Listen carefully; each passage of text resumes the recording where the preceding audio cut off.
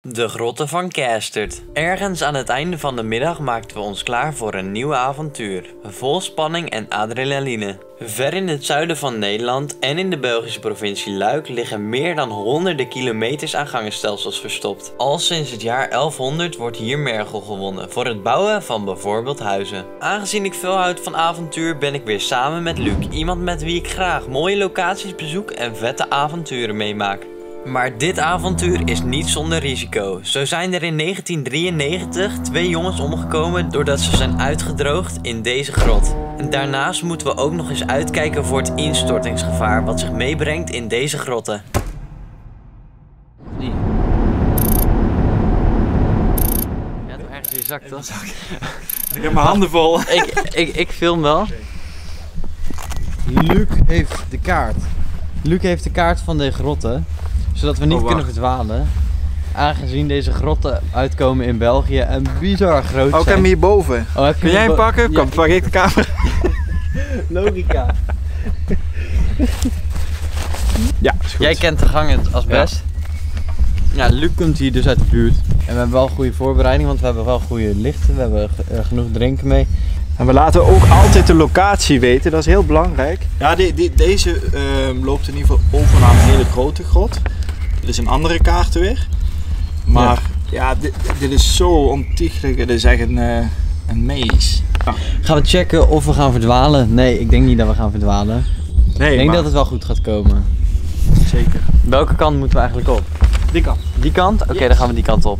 En toen was het eindelijk zover. We kwamen aan bij een van de ingangen van de gangenstelsels. Dit is dus de ingang van de grot waar we ingaan. We hebben een kaart, dus in principe zouden we niet moeten verdwalen. We hebben wel genoeg licht, we hebben genoeg water. We gaan heel tijd links, heel tijd links. En dan hoef je aan, aan, aan het eind alleen nog maar naar rechts te gaan. Ja, we hebben echt geluk hè, want we hebben gewoon echt één super goede lamp mee. Veel mensen die kijken denken misschien wel van... Gasten, wat zijn jullie aan het doen? Denken waarschijnlijk van, waarom gaan jullie die grot in? Ehm, zijn jullie bang om te verdwalen of zijn jullie gek?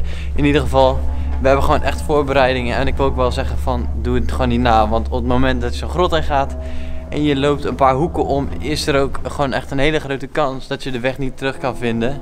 Is er gewoon een kans dat je de weg niet terug kan vinden. En als je de weg niet terug kan vinden, geloof me, die gangen die lopen zo bizar ver door. Ja, dit is... Schrok me kapot. Die vrouw daar. Er liep iemand. Ja, zag je dat niet? Nee, nee. Waar kunnen we voor het eerst naar links? Hier toch? Nee, nee, Nee, dit is hè? iets te veel. Denk Nee. je? Nee. Dan gaan we nog even rechtdoor. Gaan we niet straks struggelen dat we toch dachten van oké, dit was wel een doorgang en dat we dan hier gaan. Nee, alles wat een beetje eh, omhoog loopt, pakken Daar. we niet. Kijk hoe hoog dit is.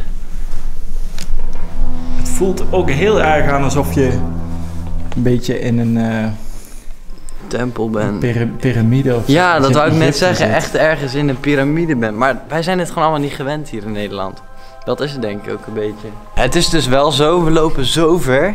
En die kaart is best wel lastig. En we lopen natuurlijk heel de tijd links. Maar eh, ja, die kaarten moet ik sowieso niet eerlijk gezegd helemaal geloven. Want ja, al die streepjes en dingetjes snap ik helemaal, echt helemaal geen reet van als ik eerlijk ben. Jij wel? Nee, nee. En best gewoon links aanhouden, constant links aanhouden.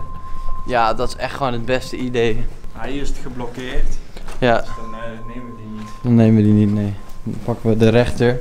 Kijk, als het geblokkeerd is, pakken we gewoon de rechter, zodat we weten dat we alleen maar door gewoon gangbare paden lopen. Nu zijn we eindelijk weer op een plek waar geen instortingen zijn. Dan pakken we deze weg weer. Hier staan bijvoorbeeld drie namen. Thij, Jos en Jean uit 1973. Ja, het is best al wel even dat ze dit hebben geschreven. Niet heel oud, maar het is echt het oudste tot nu toe. Wow, dat is ook wel vet. Maar dat kan ook niet heel oud zijn, toch? Want dat Nee, bestaat nog niet heel lang. Vanaf hier gaan we naar beneden, dus dan komen we zeg maar onder de grond terecht. En vanaf hier wordt het allemaal veel hoger. Echt absurd, ik blijf het zeggen, maar dat Nederland zulke locaties heeft, ja, dat is echt gewoon niet normaal. Kijk, als ik die kant op kijk, zie je echt al helemaal niks. Oké, maar toch om even te checken, gaan we gewoon, eh, ga ik in ieder geval naar boven klimmen. Ik weet niet of jij achter me aangaat. Of... Als er iets is. Oké, let's go. Oh, je hebt gewoon geen grip, hè? Dat is het probleem. Ik kan zeker nergens mijn voet neerzetten ergens hier. Eh, daar ongeveer, ja. En dan deze kun je iets hoger daar neer. Ja, voorzichtig. Moet je een lamp? Ja, ik kan nergens heen. Moet je geen lamp hebben om te kijken? Nee hoor. het, het stort erg. Ik vind dit echt super eng. Oké, heb wacht. gewoon- Kom, kom naar achter dan, dan hou ik je vast. Ja? Ja, Heel jij mij naar voren? ja, ja. ja. Oké, ik raak zijn kont aan. Ja. Waar kan Nog iets naar rechts met je voet. Met je rechtervoet. Ja, daar zo. Ja. Oké. Als dat niet rauw was. Dan weet ik het ook niet meer. Wow, maar dit was echt te eng hè? De Floris van de kont aangeraakt. Ja. ik kon gewoon nergens, ik kon me nergens beet houden. Ik had alleen maar het gevoel dat ik echt letterlijk naar achter kon vallen. Ja, was Het is echt... ook echt heel erg glad en Ja, schuin. Je kunt hier bijna niet opstaan. Mergel is volgens mij echt het zachtste steensoort wat er bestaat. Want kijk, als het op de grond ligt, zijn resten van het mergel. Want kijk, als je dit doet bijvoorbeeld. Kijk, zo zacht, zacht is deze steen dus. Dat is echt super bizar. En daarom is het ook gevaarlijk dat het gewoon instort allemaal. Het lijkt misschien alsof ik buiten adem ben, maar dat komt door... Hier is gewoon ook een stuk minder zuurstof, hè? Er is minder zuurstof. Ja. Dus, eh, Echt letterlijk van onder tot boven hebben ze alles met de hand uitgebeiteld. En nu komen we dus op een stuk waar dus letterlijk allemaal met blokken is gewerkt. ja, het is meer machinaal, denk ik, geweest. Of een, in ieder geval een handzaag. Ja, dus dat is allemaal weer of het ouder is of niet, dat weet ik eigenlijk niet. Ik denk dat dit stuk hier, dat dit stuk een stuk ouder is. Jij nog een lamp hebben? Ehm, nee. Dit is zeker als je daarboven staat. Ik, he- ja, ik heb nog een eh, lamp in mijn tas op zich. Wat we nu gaan doen, of wat jij nu gaat doen. Eh, ik heb het eerste stuk gedaan waar het echt heel stijl was. Is goed. Dan ga jij nu hier erin. Of we een of andere kant op kunnen gaan. Dus, succes. Ja, dankjewel. Ja, ik ben toch wel blij dat ik die lamp van je heb gekregen. Kijk, want als ik hier naar rechts kijk, dan is het gewoon echt niet meer gezond. Of als ik naar links kijk. Ja, ik zie echt helemaal niks.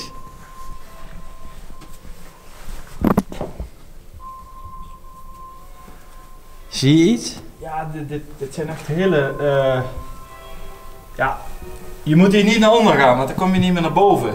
Zo, het is zo stil. Ik zie gewoon niks links. En als ik iets hoor, ja, dat, dan maak je jezelf helemaal gek. Ja, eng is dat, hè? Dat je bang bent om uit te glijden of zo. Ja. Omdat je gewoon niks hebt om grip op te hebben. Maar ik denk dat de mensen op de GoPro hetzelfde ook hebben gezien. Na een bepaald stuk konden ze niet meer verder, toch? Vuursteen is het echt een heel sterk soort Het is steen. heel hard, ja. Er hangt echt iets aan het plafond. Ja, dat zou echt goed kunnen. hoor. Kijk, en zoals je ziet ligt daar beneden een stuk wat ooit een keer naar beneden is gevallen. Dat is allemaal roet van de vaccinelichtjes en zo die ze nodig hadden aangezien het donker was en ze hadden Oh ja, vroeger geen. Ja, ze hadden vroeger geen licht. Dus dan hadden ze dat met vaccinelichtjes hadden ze allemaal staan. En toen gingen ze het uitbuitelen en zoals je ziet zit, zit dat de roet van al die vaccinelichtjes zit nog aan het plafond. Het lijkt een beetje Minecraft dit. Ja, eigenlijk wel hè. Ja. Minecraft real life. Minecraft real life, inderdaad. Eh, hier kunnen we niet heen. Eh, dan gaan we Links aan. Zo. Zoals je achter me ziet is er nergens meer gravity. Hier zijn gewoon echt geen mensen geweest. We gaan denk ik ook even kijken hoe we verder gaan. We willen sowieso nog wel echt een paar hele oude muurtekeningen vinden. Maar tot nu toe hebben we die nog niet echt gevonden. Maar het probleem is gewoon, het nekt ons een beetje dat we gewoon geen gravity meer vinden. We zien geen voetstappen meer, we zien geen touwtjes meer van mensen die überhaupt zijn geweest. We zijn dus nog steeds aan het lopen. We hebben misschien wel iets doms gedaan. We hebben namelijk één keer zijn we naar rechts gegaan. Maar niet- één keer? Maar één keer. En het enige hoe we het hebben aangegeven is door een eh, verpakkingspapiertje van Milka op de weg te- op het pad te leggen. Ja. Ja. Vergeet je niet. Deze loopt dood. Deze loopt dood. Dat betekent dat we hier naar links moeten. Ja, dus of we dat gaan onthouden, ik denk het wel. Je ziet geen gravity, helemaal niks. Ik vraag me wel af hoeveel meter zitten we dan onder de grond. Hoeveel meter hebben we al niet al gelopen? Want het lijkt misschien een korte video tot nu toe, omdat je alles aan het knippen bent. Maar we lopen al letterlijk misschien twee uur in deze grot. Ja.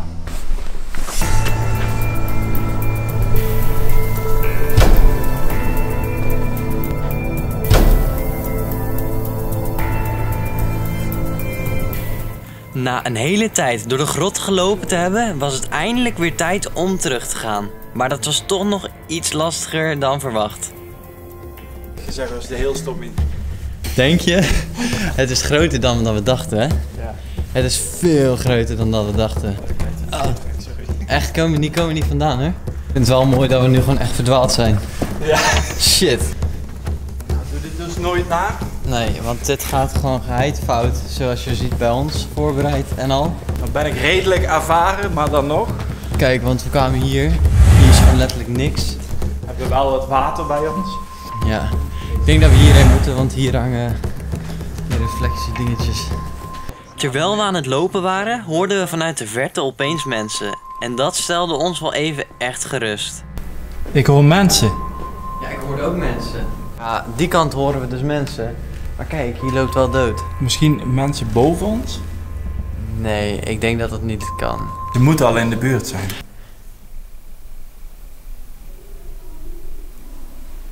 Ik denk dat ze een, ga- een gang achter ons zitten, maar we moeten wel snel zijn, want als de stemmen weg zijn, Ja. dan zijn wij ook de weg kwijt. Want wij weten letterlijk gewoon de hele weg niet meer. Ah, Oké, die kant, rechts. Ja, we zijn aan het barbecuen. Een van een raar feestje hier in Ja. de grot. Stel dat we nu een of andere drugsbende oplopen of. Dat zou echt, dat zou kunnen toch? Maar, zo kijk dit gas.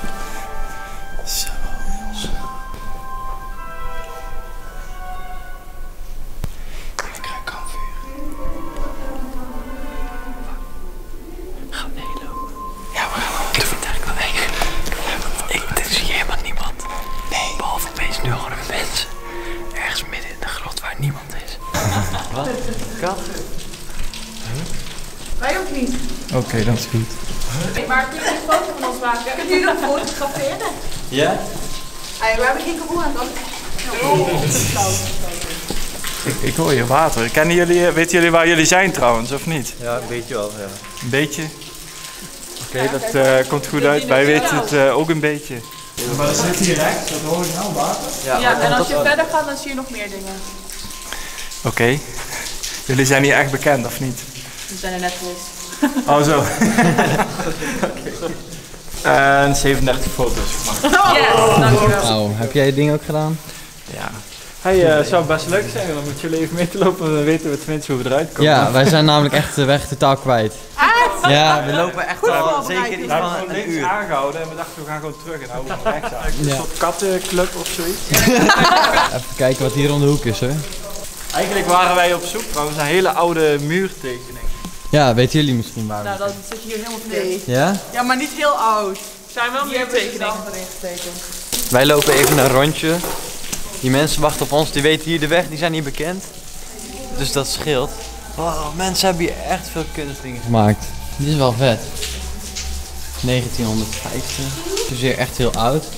Ze hebben het echt machinaal gedaan, zoals je ziet. Ja, ze hebben het machinaal gemaakt. Hoeveel tijd zou zoiets gekost hebben? Het is natuurlijk heel zacht. Laten we maar teruggaan, want anders dan worden we achtergelaten. Zo, kijk hier dan. Wat? Deze vind ik wel echt ziek. In ieder geval, we gaan naar de mensen, want anders dan eh, gaan we even dwalen. We kennen het hier niet zo goed, dus dat scheelt.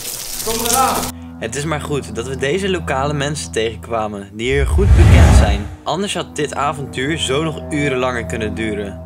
We volgden deze lokale mensen die op bijzondere wijze precies wisten welke kant de uitgang zou zijn. Verdwaald schaap. Nee, het is een Gewoon- bloedieschaap nu. Hoe komt deze schaap hier ooit terecht dan? Door dat gat daar. Die was waarschijnlijk daar gevallen, denken wij. En toen was hij helemaal de weg kwijt. Oh, maar daar is gewoon een weiland of zo. Die is gewoon random de grot ingegaan en die heeft... Wat?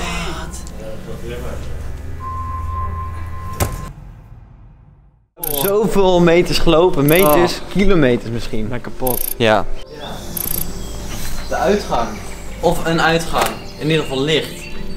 Die mensen hebben ons toch wel goed op eh, weg geholpen. Want we waren echt gewoon, we kwamen er gewoon niet uit. En dat was zeg maar echt het probleem. Want we waren aan het lopen en toen gingen we links. En toen gingen we, eh, de hele tijd gingen we links, links, links, links, links. Toen gingen we één keer zijn we naar rechts gegaan. Maar toen gingen we terug. En toen hebben we echt in één keer alles omgegooid. Waardoor we de hele weg kwijt waren geraakt.